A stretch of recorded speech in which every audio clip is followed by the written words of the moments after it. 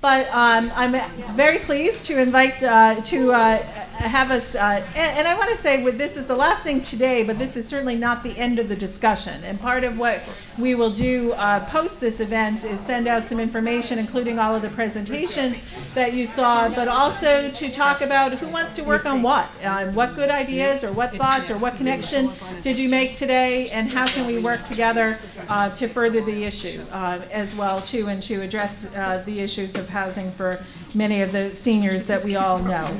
So, but we have with us today uh, a group of folks, Linda, Linda Couch, who you heard from earlier from LeadingAge, but next to her on the left is Cathy from POA, who's the Vice President of Resident Services and Community Improvement. Many of you know at the far, sorry, I'm doing you out of order here, but Linda Katz is in the red, right at the end.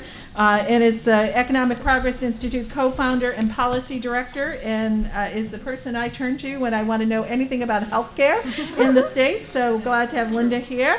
And Roberta uh, from St. Elizabeth is the Executive Vice President of Strategic Initiatives. And St. Elizabeth, I, I, I, think you know, has done a lot of great innovative work in the senior housing space. So with that, oops, gotta get my questions, hold on.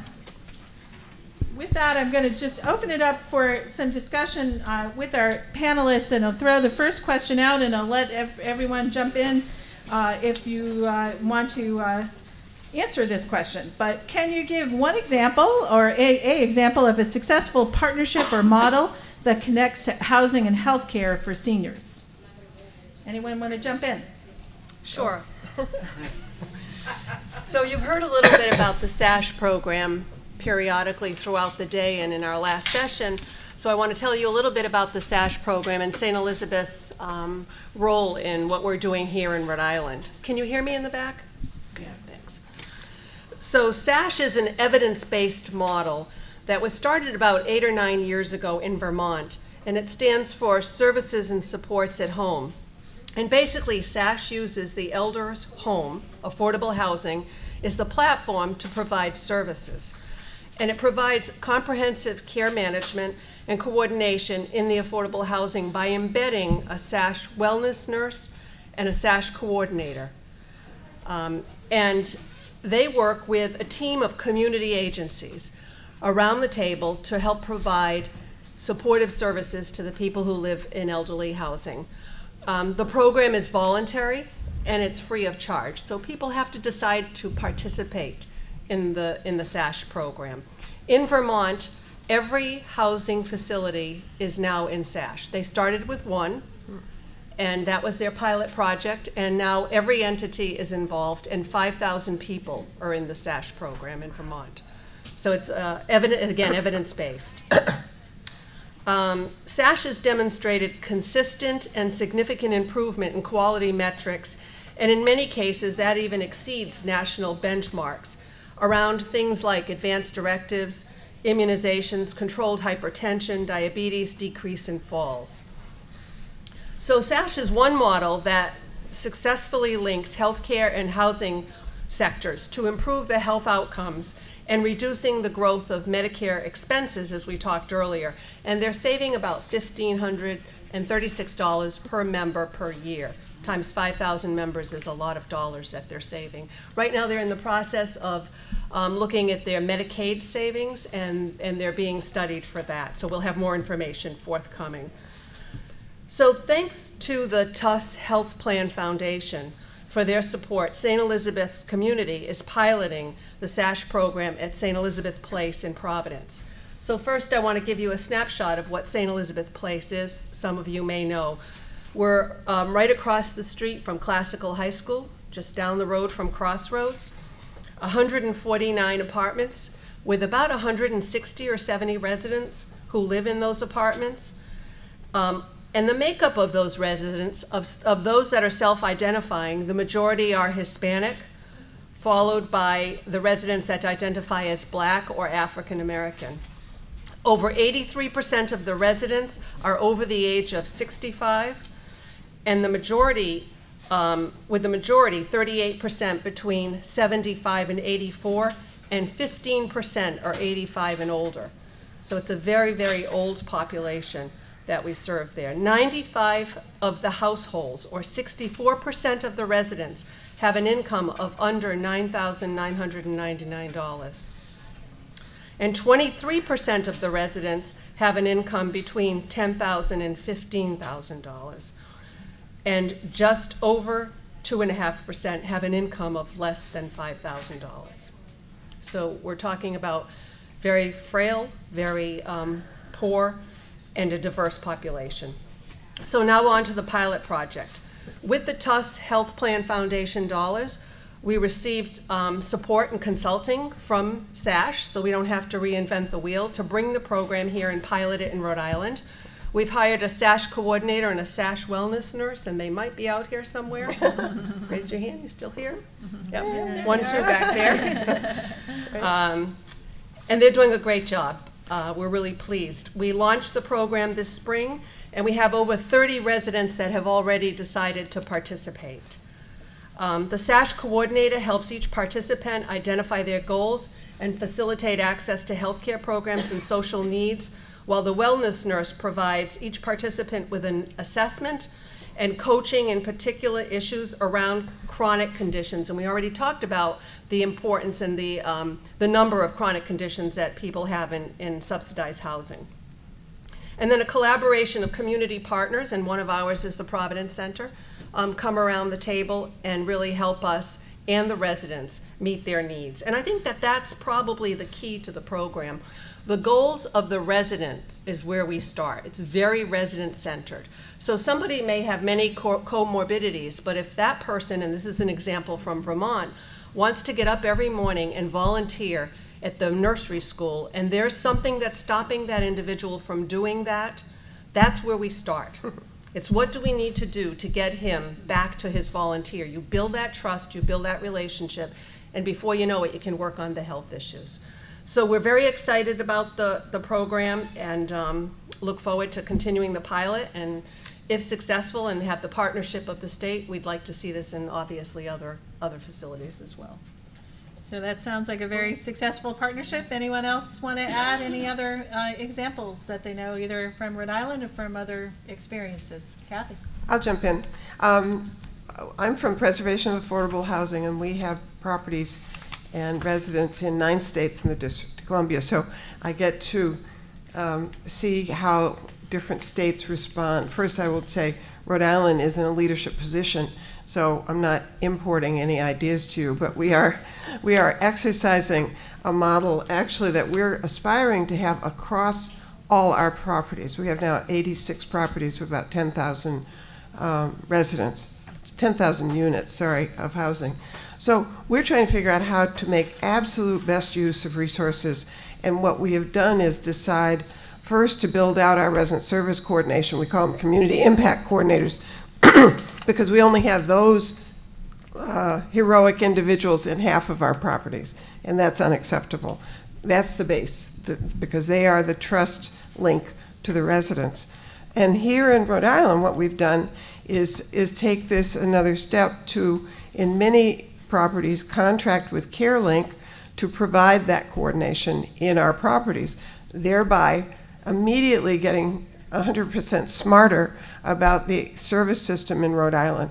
Uh, operating from Boston, well, you all know this, how stupid you can be operating from Boston. So we, we really believe and, and have had it proven that contracting with local agencies that know the networks and know the resources uh, are an automatically better way of providing basic resident service coordination, on top of which we're uh, always striving to build uh, additional services and connections for services for our residents. But that partnership model, we're now taking uh, across the country, basically saying, we never, I promise my healthcare friends, we never plan to be a healthcare provider.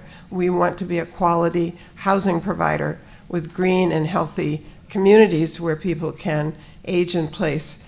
But we never plan to be uh, a service provider. We need partners who can do that, both mostly social service providers, but then occasionally health providers are necessary, and we're obviously happy to host them. So unless anyone else wants to add anything, I'll uh, just ask, uh, throw out another question. And uh, how can, what's the most powerful way, or what is a way that housing developers can build partnerships with healthcare service providers, or vice versa? If somebody wants to talk about how to, health service providers can uh, partner up with um, housing developers. Anyone want to take I'm a? saving for myself for number three. Okay. Anyone Anyone have any thoughts?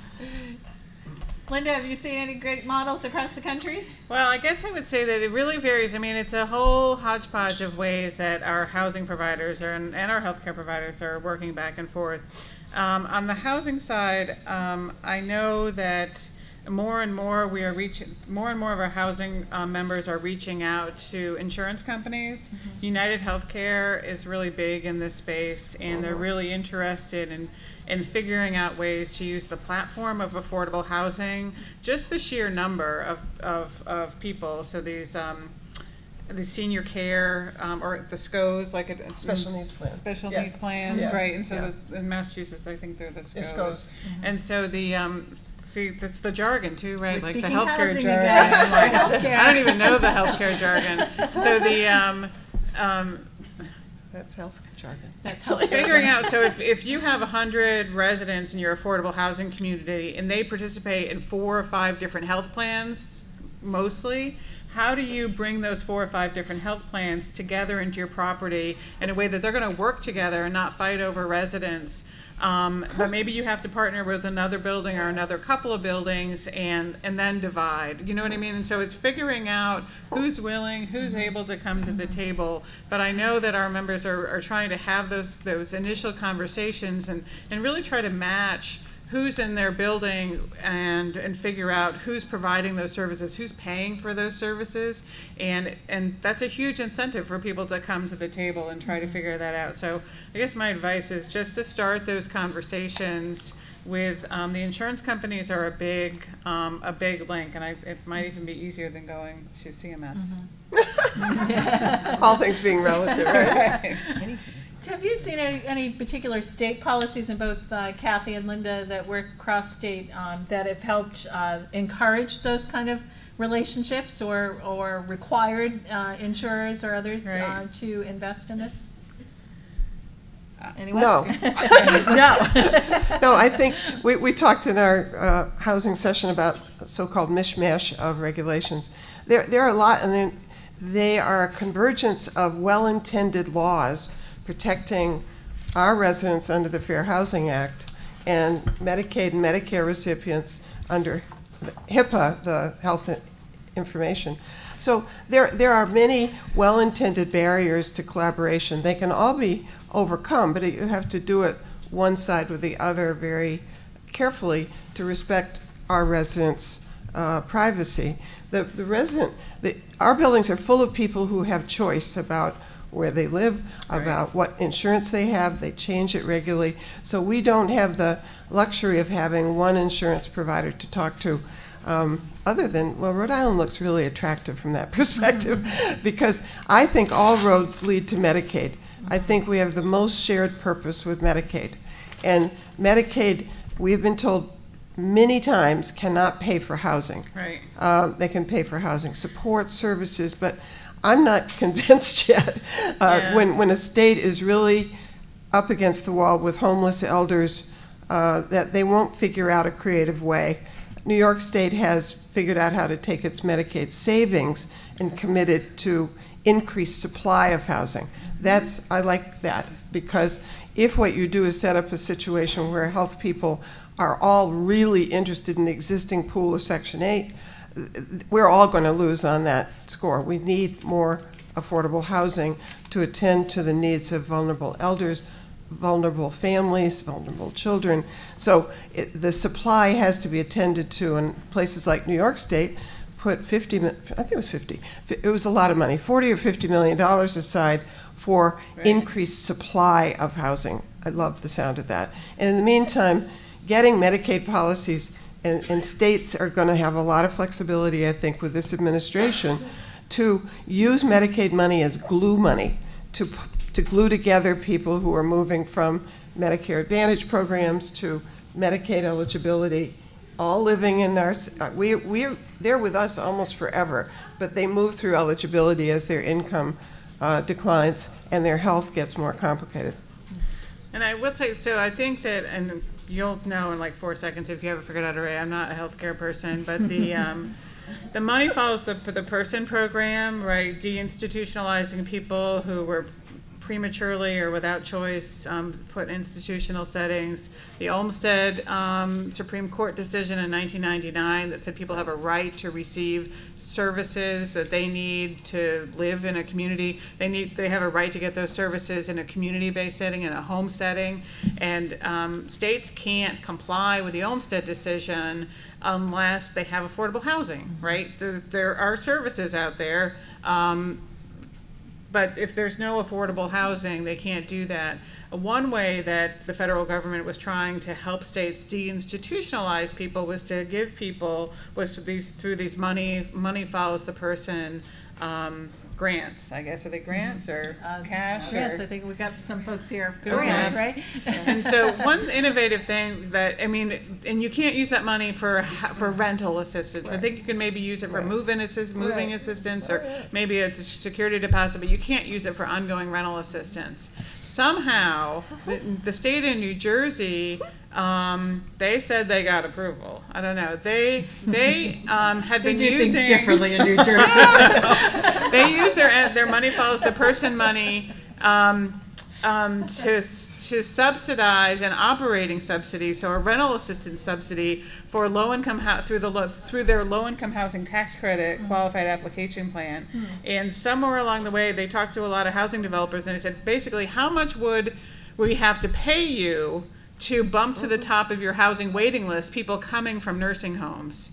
And then the amount they came to was seventy-five thousand dollars a unit.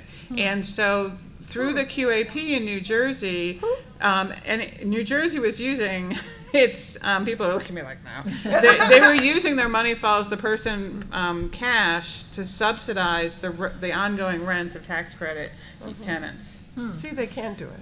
Um, and so, you know, but it's true. It's like we've got to crack the healthcare. That's where the money is, right? The money is overwhelmingly on the healthcare side, and Although the um, healthcare people tell us there isn't the money there, so, Well- I mean, that's the challenge, but, um, I know, but it seems like there right. is, or at least the, the systems need to be there. yeah. Well, the other issue is is that there's money in the United States, right? It's like we have the cash to do it. We're just choosing to spend our resources on something ways. else. So. So Linda, let's bring you into the conversation, the, uh, what, what next steps are there to take, to, to continue this cross-sector communication that we've s- not started today, it's been ongoing, but continued and Right. tried to develop some new relationships, but, and what can we work on together to address uh, senior health and housing needs? So I guess I just, um, I, I like Cathy saying all roads lead to Medicaid. Um, I think in, in Rhode Island, if we could get Medicaid right, um, the, so one in ten seniors we are enrolled in Medicaid in our state. So that's a lot of people in Medicaid. And there are some opportunities with Medicaid, not for Medicaid to pay for housing, but there's a whole bunch of initiatives that have been going on in Rhode Island that we really could be um, uh, doing a better job at um, in, in terms of putting um, reality to the rhetoric of rebalancing care in our state, which many in this room have been working on for when our hair was not dyed. um, And it was called something else. it's been called very different different names. But I I- so I just want to throw out I guess a couple of things. One is I know that um, Dr. Trilla from Neighborhood was was going to be Yes, on the I apologize, I thank you, Linda, he was, had an emergency and wasn't able to join us at the last minute, so. But I thank you. know there are um, some Medicaid reps, uh, There are. some n- neighborhood health plan folks here. So neighborhood had been trying even before rebalancing care and our integrated care initiative to try to figure out how to improve health care for seniors, including creating a program where, surprise, doctor, the health team goes out to the person's home, right? That's a that's a great idea. Um, there is. Uh, Rhode Island, uh, with, with Medicaid, the states can ask for waivers. And Rhode Island, as many people may know, has operated our Medicaid program under an 1115. That's just the federal law that says the state can waive some of the Medicaid rules. Rhode Island has been one of the states that's really been tr- trying to be creative about getting um, uh, waivers to certain Medicaid rules where you can use Medicaid Medicaid funding for things that aren't normally paid for by Medicaid. And so, what, for example, Rhode Island, in its last waiver request, got approval to pay for home stabilization services. And it took a really long time before aid, the waiver went in and CMS approved it. Then it took years before the state decided that it would fund it, because it does always come back to the money, right? But there is now um, a home stabilization program where there are, and this may be something that housing folks can think about reaching out to community providers, or we can all think about a better way of engaging more people. If you have resident service coordinators in um, in public housing, um, hopefully they are able to do the same sort of services that these um, home stabilization folks would do. There are 10 um, agencies in the state that are certified as home stabilization programs. Um, they include CAP agencies, behavioral health agencies, domestic violence agencies, and some homeless providers. Um, they're required to serve anybody, not just sort of their target population. And uh, they, the services that they provide are to help identify um, and in, uh, behaviors that may jeopardize somebody staying in their housing, um, provide education and training on the roles and rights responsibilities of the landlord and tenant, um, coaching on developing and maintaining relationships with landlords and property managers, adv- advocacy and linkage with community resources to prevent eviction, assistance with housing recertification process if somebody is in subsidized housing and needs to recertify, and coordinate, develop a housing support plan with that tenant. So the whole idea there is to help people who are in housing um, maintain their housing, and then hopefully part of that is connecting with their um, healthcare providers as well. There's another part of home stabilization which Rhode Island has not yet funded, but was approved by CMS, which was housing location. I think the problem with housing location is there's no housing to find. So unless you're already in, I mean, and that, that's the problem, right? We really need to deal with in Rhode Island increasing the supply of housing, increasing the supply of affordable housing. Um, and we need to, as we're thinking about that, we need to be breaking down. Uh, we can't be thinking about, well, Medicaid says they don't have the money for this, and housing says they don't have the money for that. We need to be thinking about anything we're doing, figuring out that this is a state obligation to provide stable, affordable housing for folks, along with the health care services they need to stay healthy. And that means things like uh, Rhode Island is now moving down the road for accountable entities, right? We were fully managed care, and the, we had only two managed care plans. We now have three. Those managed care plans were told by the state to do a lot in terms of truly managing care for their populations, but then the state decided, well, that's not enough of managing. Now we're going to push risk down to these accountable entities where we're going to now have, um, in other states called accountable care organizations, we're going to um, require the, the health plans to contract with groups of um, primary and acute care providers who deal with physical and behavioral health care, hospitals, specialists, and these accountable entities are supposed to address the social determinants of health. The state is now in the um, now developing. Can they work on world peace too? Well, yeah. well, no. So this is so this is so now what we need to do is hold them. We have to hold those. We have to hold the state accountable for the accountable ent- care entities, and we have to say, look.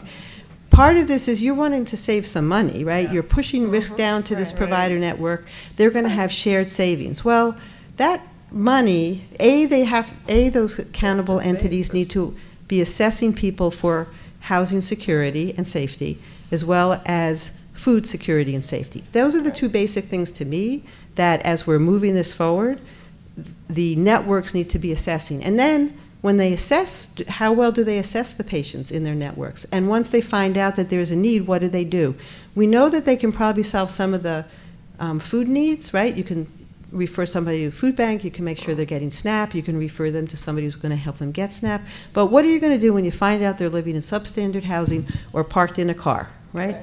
there isn't a solution there. So we need to make sure that as Medicaid is doing these accountable entity things, that those providers are tracking the need, and then we are going to the legislature together to say, yeah, Medicaid can't pay for housing, but state, if you want to achieve your Medicaid savings through these accountable entities, then you have to make sure that there's affordable housing for folks. And it's not my pool, your pool. It's going to the it's going to the governor and it's going to the legislature to say this is all of a piece, and you have to uh, break down those silos.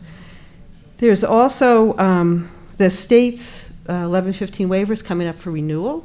Um, that means that we have some opportunities to say to EOHHS, here's some other waivers of Medicaid rules. I don't think we're, I mean, maybe under this administration they'll let us pay for rent, but I wouldn't support that, I think, because our Medicaid budget is so big.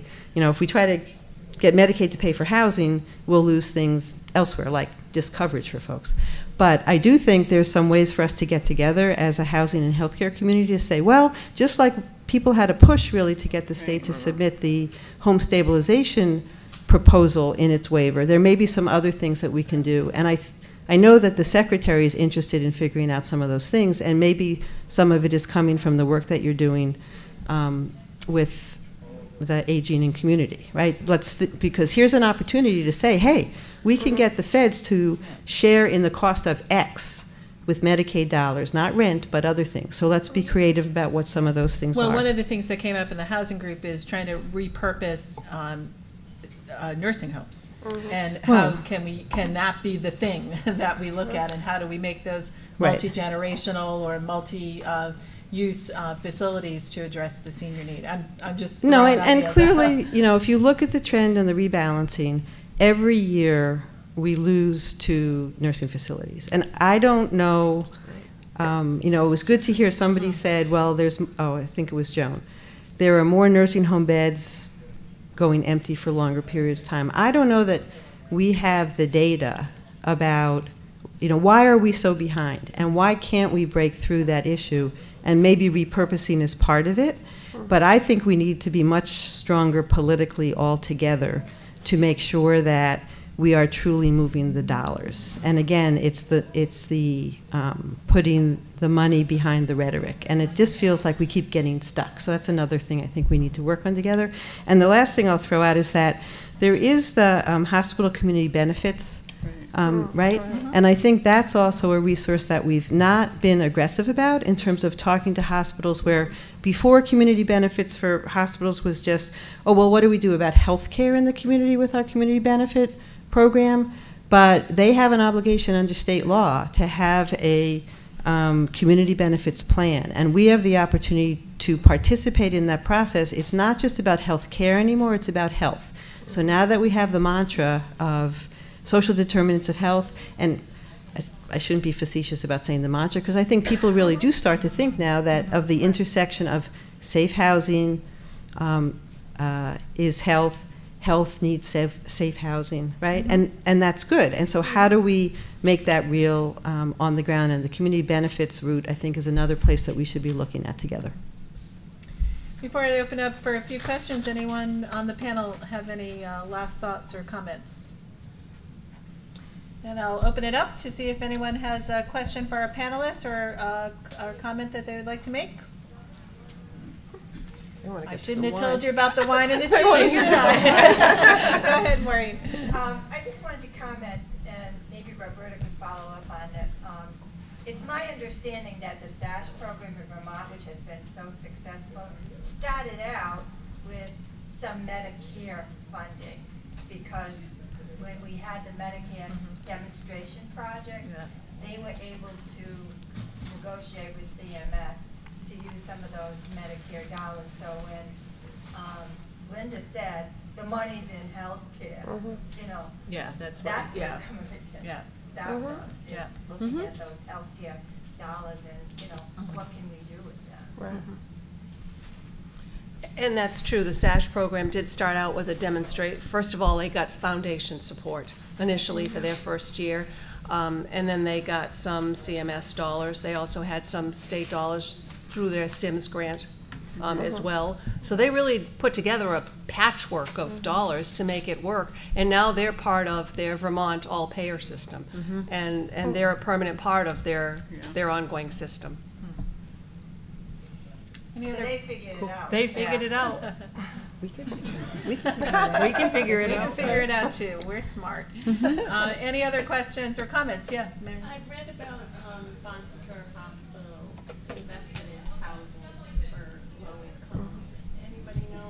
or Yeah. Linda, are you familiar with? Uh, no, I can't speak to I that. can, I know? can speak to it, because Yeah. we, we haven't talked about hospital systems and health plans other than United actually investing their capital Right. in housing. Housing, especially with the low-income tax credit structure, is a very good investment. It's not risky at all, in my view. Of course, I'm a houser, so I could say that. Um, But the, the Catholic hospital systems, uh, Dignity, Trinity, Bon Secours, have been leaders in this area for over 15 years. They understood, you know, the connection between housing and health and have made real dollar commitments. There's a push afoot, but it hasn't gotten an awful lot of traction, to have that counted as part of the community benefit obligation, because those hospitals give out community benefit investments like year-to-year grants, little, little ones. But they're sitting, I'm obviously biased, on a lot of money that they could very safely invest Right. in low-income housing if they were encouraged to. That may be where policy is a good idea, because they generally treat their assets as a whole nother conversation. Uh, And they also have, United, they I, also I, have re- real estate. I mean, they often, Oh, they yeah. own real That's estate the that they key, can Oh, do sure, actual development on. Right. that, that's where, the irony is that the for-profit, uh, United has way ahead of the nonprofits, other than the Catholic hospital systems. They are all over the country investing in things like this, quite innovative, uh, work. Uh, I'm sad to say I haven't scored any of that money, but You're working on it's another day, you know?